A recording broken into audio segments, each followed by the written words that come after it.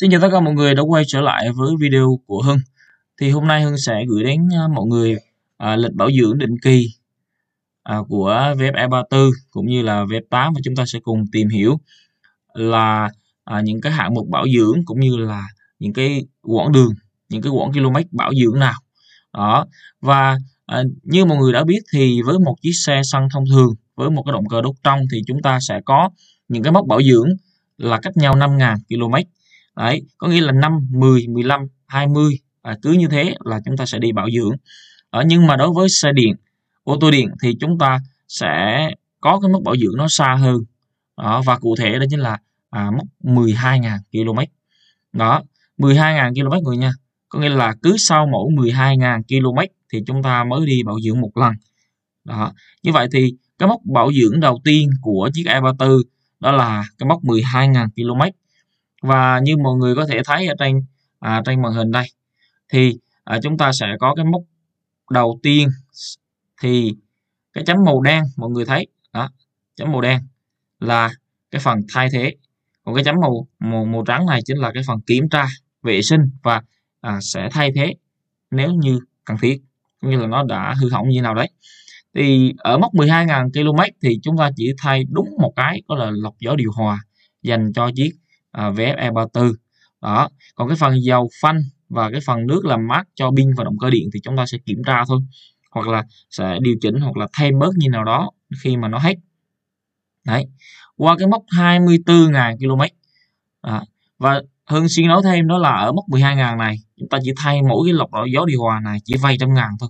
Đó, như vậy ở mốc 12.000 mà chúng ta bảo dưỡng một chiếc xe ô tô à, chúng ta chỉ có tốn là mấy trăm ngàn vài trăm ngàn đấy 5 đến 600 ngàn gì thôi. Đó nhưng mà nếu như mà bạn đi một chiếc xe xăng động cơ đốt trong thì ở mốc 5 ngàn là chúng ta đã à, có thể nói là tốn tiền triệu rồi. Đấy, và chưa kể là đến mốc 10 ngàn. Đó. Với pha điêu như Hưng biết thì ở cái mốc mà 7 ngàn rưỡi km thì chúng ta sẽ tốn đâu đó tầm hơn một triệu. À, nó đâu đó tầm triệu ba đến triệu rưỡi là ở mốc cái bảo dưỡng lần đầu tiên. Đó và cái mốc 15.000 km của pha điêu thì chúng ta sẽ tốn hơn một tí. Đấy, nhưng mà ở đây thì chúng ta thấy là E34 à, chúng ta đi đến 12.000 km chúng ta chỉ tốn vài trăm ngàn tiền bảo dưỡng. Đó. Ở mốc thứ hai thì à, đoạn này Hương sẽ nói nhanh nha thì là 24.000 cây. Đó. Thì chúng ta sẽ tốn là tiền thay lọc gió điều hòa. Đấy. Như vậy thì lọc gió điều hòa là mọi người thấy là sẽ thay liên tục sau mỗi 12.000 nha thay dầu phanh. Đó và chúng ta sẽ thay cái pin chìa khóa điều khiển để cho nó an toàn. Rồi sẽ, chúng ta sẽ kiểm tra cái nước làm mát động cơ làm mát pin. Đó.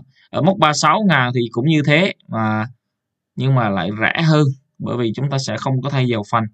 Đấy. như vậy trong này nó sẽ phân bố như thế nào ạ?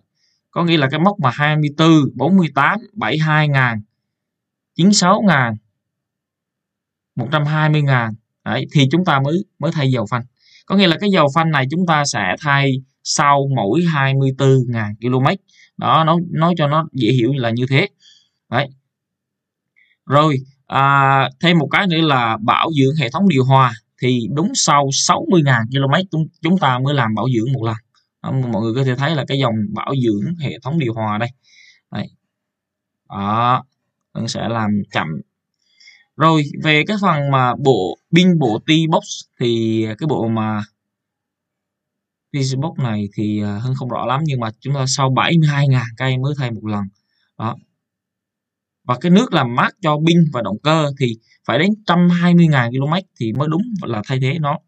Đấy. Còn những cái phần này chúng ta, nếu như mà chúng ta hết thì, hoặc là thiếu hụt như nào thì chúng ta chăm thêm thôi, chứ nó nó không thật sự hết đó rồi à, tiếp đến là cái phần ở dưới có nghĩa là cái hạng mục bảo dưỡng chung và nó sẽ lớn hơn như là lốp này chúng ta có má phanh và đĩa phanh này đó, đường ống đầu nối hệ thống phanh bộ dẫn động động cơ điện và hộp số hệ thống treo trục truyền động. Cái này lớn nha. Khớp cầu thước lái và khớp cầu nối. Khớp nối cầu đường ống làm mát pin. Dây cáp của hệ thống điện áp cao cổng sạc. Ắc quy 12V gạt nước rửa kính và nước rửa kính. Thì tất cả những cái này chúng ta sẽ kiểm tra trong cái quá trình hoạt động. Đó và chắc chắn rằng là sẽ có những cái à, hạng mục chúng ta sẽ cần phải vệ sinh điều chỉnh hoặc là thay thế. Đó nhưng mà cơ bản là về cái mốc bảo dưỡng của E34 và cái những cái hạng mục bảo dưỡng của nó rất là ít và cái sự tiết kiệm của vé E34 là không thể bằng cãi được. Đấy sự tiết kiệm của một chiếc xe điện là không thể bằng cãi được như mọi người có thể thấy đây. Rồi tiếp theo thì Hưng sẽ cho mọi người xem về um, cái um, móc bảo dưỡng của chiếc uh, uh, VinFast V8 nha.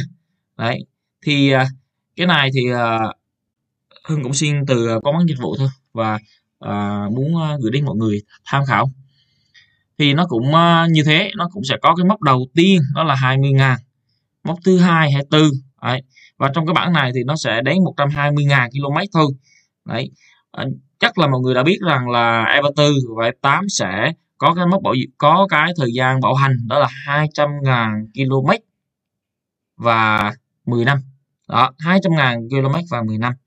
Và ở dưới ở cái bảng này chúng ta sẽ thấy là lặp lại chu kỳ bảo dưỡng mỗi 10 năm hoặc là 120.000 km. Có nghĩa là cái vòng này nó sẽ lặp lại nha thì đối với VF8 thì chúng ta sẽ có cái mục bảo dưỡng mà có thể nói là thay thế khi mà đến 12.000 cây đó là bộ lọc khí cabin. Đó thì cái bộ lọc không khí cabin này chúng ta sẽ thay sau mẫu 12.000 cây.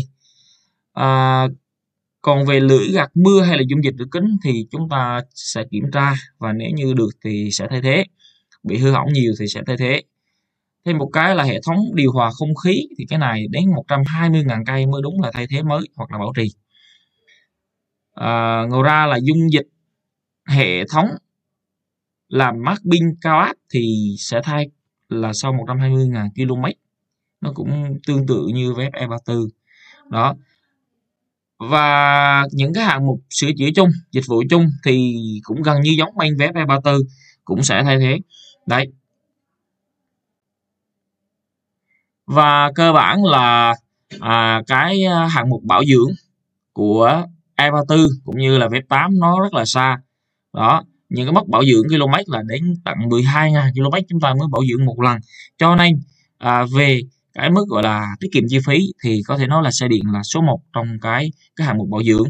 Và chi phí bảo dưỡng của xe điện à, cơ bản đây là i34 và V8 hơn đã từng xem qua những cái cái cái những cái bản mà báo giá về bảo dưỡng đấy. Là nó chỉ bằng 1 phần 2 thậm chí là có những cái những cái xe những cái lúc mà bảo dưỡng chúng ta chỉ tốn lấy 1 phần 3 của một chiếc xe xăng với động cơ đốt trong thông thường. Đó. À, ở đây thì Hưng sẽ cho mọi người xem về một cái um, báo giá về à, uh, hàng mục bảo dưỡng của một chiếc uh, web E34 đó. Thì uh, ở đây thì Hưng, uh, Hưng sẽ cho mọi người thấy nha. Đó là một chiếc web E34 à, Hưng cho mọi người thấy là một chiếc web E34 đây. Đây. Thì à, chiếc này thì à, bảo dưỡng cấp 2 chúng ta chỉ thay đúng một cái lọc gió điều hòa với đơn vị là lọc gió điều hòa. Giá của nó là 587 ngàn đây thì cái này thì là giá chung rồi. Đó kiểm tra cập nhật phần mềm xe và kiểm tra giấc cấm dưới biên xe 120 ngàn bảo dưỡng cấp 2 là 246 à, ngàn. Đó thì tổng cái chi phí này chúng ta chỉ là 900 ngàn cho cái lần bảo dưỡng mà. À, như mọi người thấy là là chiếc xe này ở cái mốc km là 32.000 km. Đó 32.000 km mọi người nha. Đây 32.000 km đó. Và có thể nói là rất là rẻ rất là rẻ so với một chiếc uh, uh, một chiếc xe điện uh, cỡ uh, như là vép E34 đấy. Và với chiếc vép 8 thì nghĩ cũng ờ, sẽ như thế này thôi. Bởi vì uh, vép 8 thì uh, hiện tại là bên uh, Hưng cũng tìm một vài cái cái báo giá về bảo dưỡng nhưng mà uh, chưa thấy yêu cầu của khách hàng là mất bảo dưỡng 24 ngày nhưng mà anh hãy đi quá luôn anh đã đi đến 32 ngày anh mới đến. Đấy.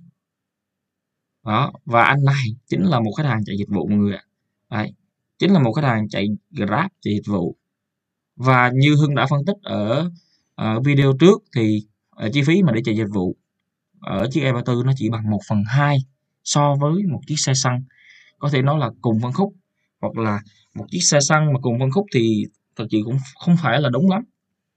Bởi vì chiếc xe xăng cùng phân khúc thì nó phải tốn tầm à, 8 đến 9 lít trên 100 cây. Nhưng mà ở video trước á, là Hưng làm chỉ là 7 lít trên 100 km thôi.